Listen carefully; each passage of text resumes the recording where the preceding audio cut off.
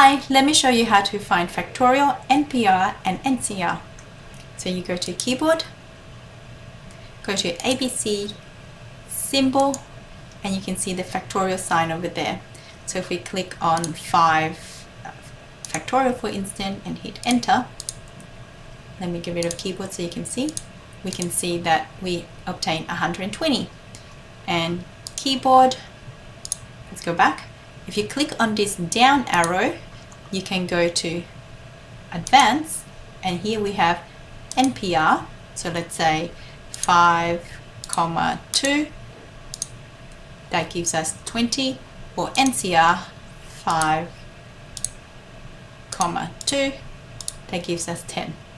So recap, so to find the exclamation mark, keyboard, then ABC symbol exclamation mark is there or factorial.